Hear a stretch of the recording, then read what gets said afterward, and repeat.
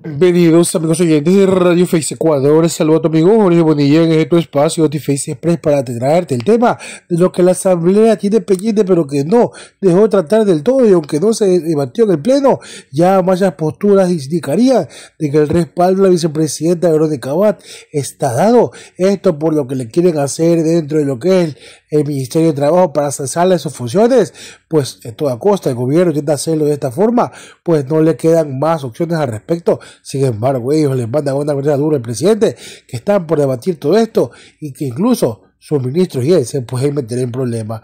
Acompáñanos porque juntos vamos a poder contarte qué va a ocurrir aquí. Déjanos tu like, comparte este video, suscríbete a YouTube, síguete en las redes y escuchemos la nota. Un juicio político por persecución no cabe porque entonces nosotros debíamos haber enjuiciado a medio gabinete de los dos anteriores gobiernos. Lo que sí cabe es abrir un proceso de fiscalización, pedir información y saber en qué decanta este informe en la comisión que se determine.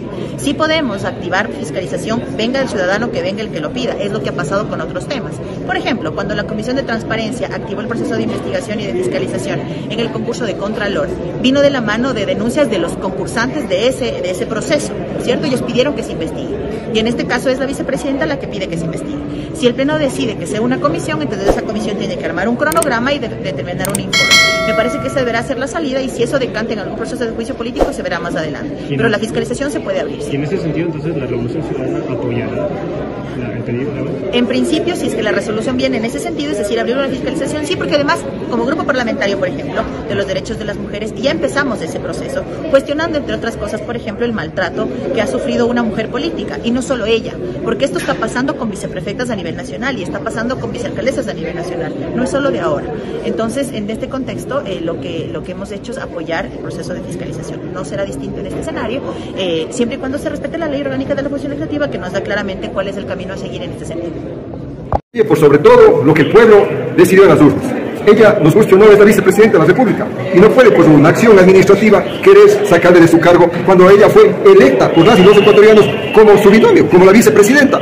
¿querés ahora construir una figura porque no ha llegado a tiempo a eh, un trabajo, una designación que le, que le colocaron en otro estado? Pues querer destituir, ya raya, raya en realidad de lo lógico y de lo normal. La misma acción debería aplicarse entonces para sus ministros que están con usted de provincia en provincia paseándose y no se dedican a temas fundamentales como la energía eléctrica, por ejemplo. Entonces, en definitiva, no tiene pies ni cabeza. Nosotros nos ratificamos que la que fue designada como vicepresidenta es la señora Verónica Abad. Y por ello, si hoy día ha pedido que se trate este tema, pues sobre todo las cosas fiscalizaremos y que la ministra de Trabajo, la ministra de Relaciones Exteriores y Movilidad Humana se dedique a hacer su función. Bien está pasando el día de hoy. Decenas de personas que migran, mueren en la frontera y para ellos no miran a ver. Ah, pero eso sí, para quien es una piedra en el zapato, quieren destituirle. No hay razón de lógica, por eso nosotros creemos que se debe sostener, así no sea nuestra cuidaria, pero se debe sostener lo que el pueblo decidió, como vicepresidenta hasta el final de su fiscalización en qué sentido? ¿Llamar la comisión al pleno? A la comisión deberá asistir, deberá asistir sobre todo, creo yo, a la Comisión de los Trabajadores, la ministra del Trabajo y por supuesto también de Relaciones Exteriores, porque quieren, a través de una argucia que se inventan de última hora, eliminar a la vicepresidenta porque es una piedra en el zapato. Deberán, a mi criterio, ir a la Comisión de los Trabajadores y la Seguridad Social.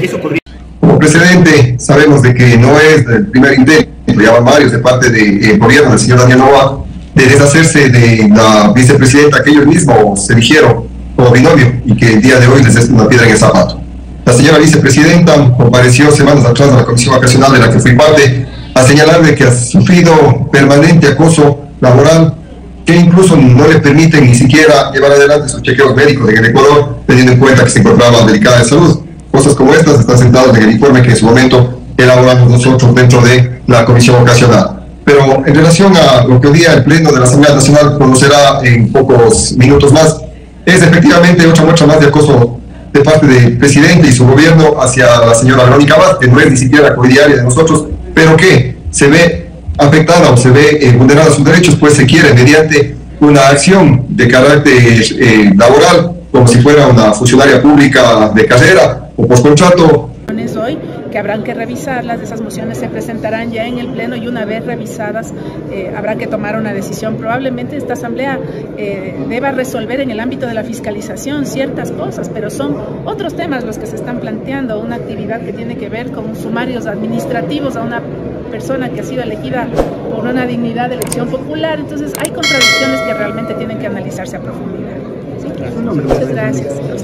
Sí, hoy vamos a conocer un pedido de fiscalización y parafraseando a la asesora presidencial Diana Jacome, que el gobierno no tome como el por el lado bueno. Es su vicepresidenta y está pidiendo que su bancada trabaje, que lo vea por el lado amable, ¿no es cierto? Ya que están diciéndonos que no, que no nos preocupemos de los apagones porque lo llamamos con los propios, más o menos. Entonces, que tampoco se preocupen mucho por esto, porque al ser su vicepresidenta, entonces ellos habrán coordinado con ella, tendrán una hoja de ruta o algo por el estilo. ¿Qué es lo que nos corresponde a nosotros? No voy a hablar como bancada, así como grupo parlamentario, defender la paridad, porque lo que quieren hacer, más allá de la persona que está ahí, que con la que distamos ideológicamente de muchas formas, es el derecho de las mujeres a formar parte del binomio presidencial. Y al ella está sentando un presidente nefasto para el vicepresidente o la vicepresidenta que venga, porque se vuelve también un tema de género. Y adicionalmente están manoseando nuevamente el código de trabajo, la, la ley alrededor de eso, y compañeros como Leonardo Berrasota, que fue ministro de Trabajo, nos ha dejado claro cuál sería el camino para un acto de ese tipo, de esa naturaleza. Y no tiene ni pies ni cabeza pretender que se norme con ley nacional un trabajo que está haciéndose en función de delegada del presidente fuera del país. Es decir, ni siquiera han logrado leer la ley para entender de lo que se trata. Por lo tanto, hay un proceso de fiscalización en ese sentido y pues eh, veamos en qué términos viene la resolución, pero nos queda claro que hay que, primero, dejar que se susanen los problemas de la vicepresidenta con el gobierno en el ámbito político de ellos y en lo que manda la fiscalización poder hacerlo como corresponde.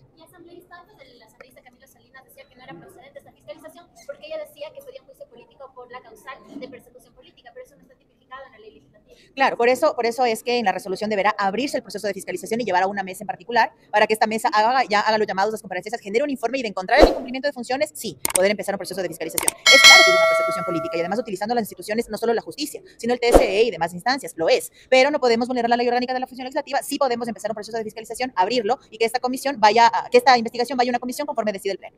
Esta acción se justo en tiempo de, bueno, de un proceso electoral nuevo que vamos a enfrentar. Sí, es un cálculo electoral sin duda y es la necesidad de quitarle a la vicepresidenta del camino al presidente Novoa de cara a la elección que viene, porque aparentemente no han logrado, no conocen el diálogo, no conocen la mediación, no hablan entre asesores, no sé si se tendrán registrados en WhatsApp, desconozco, porque lo que se pasa, las diferencias que hay en política se solucionan con política, no con el TSE ni con la justicia. Por lo tanto, eh, están buscando la forma de quitársela de encima y metiendo a las demás instituciones en este problema. Lo que vamos a dejar claro, al menos desde nuestra postura como legisladoras, como mujeres y como políticas mujeres, es que la paridad no puede ser utilizada a conveniencia del momento. Fue Daniel Novoa el que eligió su fue él quien la puso en la papeleta, fue con él con quien eh, llevó adelante la segunda vuelta y fueron juntos que llegaron a esta asamblea a la posesión y que fueron a tomar eh, le, sus oficinas en, en, las instalaciones que les corresponden. Juntos. No fuimos los demás, por lo tanto no tenemos que ver en ese problema. Sí vamos a defender la paridad porque no somos nosotras, es lo que se logra para las... Y nada más alejado de la realidad de algunos titulares de medios prensa servir al gobierno que dice que las vicepresidentas se quedó apoyo de la asamblea y que por eso tocaron el tema en la última sesión del pleno.